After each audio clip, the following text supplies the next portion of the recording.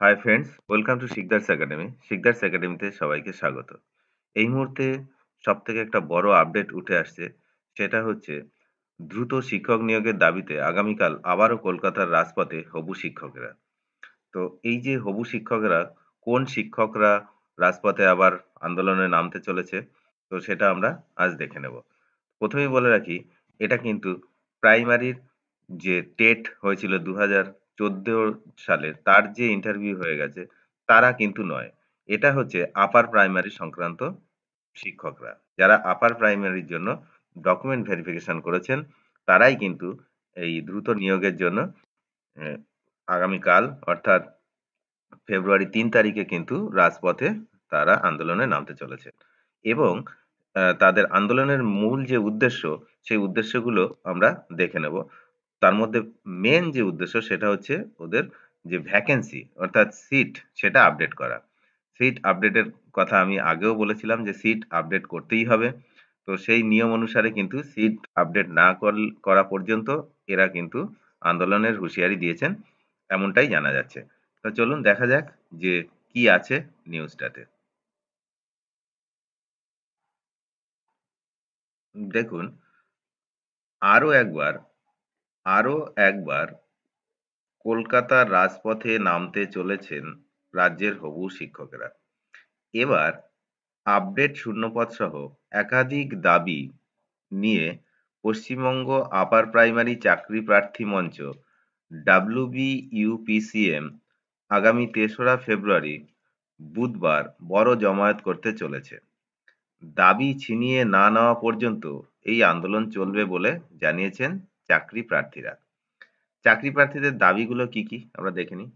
Number one যেটা আছে, সেটা হচ্ছে দ্রুত ইন্টারভিউয়ের নোটিশ দিতে হবে। ইন্টারভিউয়ের নোটিশ কিন্তু দ্রুত দিতে হবে, এটা প্রথম।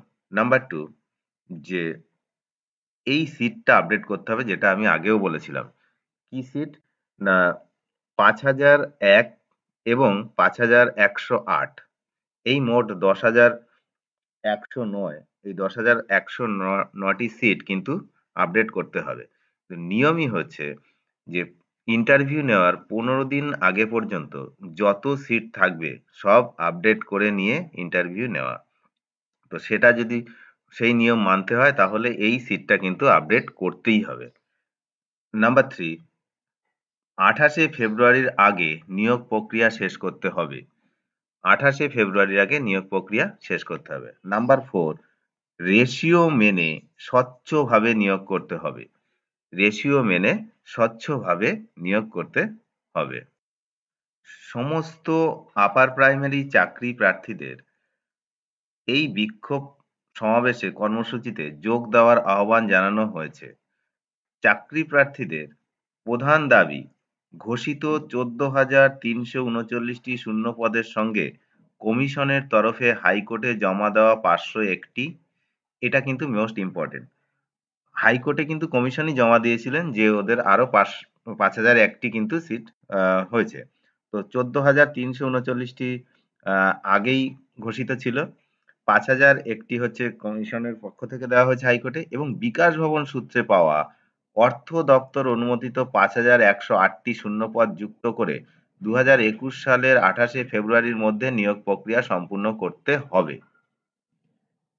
এই নিয়ে চাকরি প্রার্থীরা বলেন মানে এই নিয়ে চাকরি প্রার্থী বলেন, বলর, বলেন হবে এটা, আমরা দীর্ঘ সাত বছর ধরে অপেক্ষা করে আছি। তারপরেও কোনো আশানুরূপ ফল পাচ্ছি না। আমাদের পিঠ দেয়ালে ঠেকে গেছে। আমরা আর সময় নষ্ট করার জায়গায় নেই। আমরা চাই আপার প্রাইমারিতে দ্রুত ইন্টারভিউয়ের দিনক্ষণ ঘোষণা করুক এবং আপডেট শূন্য পদে নেওয়া হোক। তেসরা ফেব্রুয়ারি আমরা কলকাতা রাজপথে নামব। অধিকার না পাওয়া পর্যন্ত আন্দোলন চলবে। বুঝতেই পারছেন?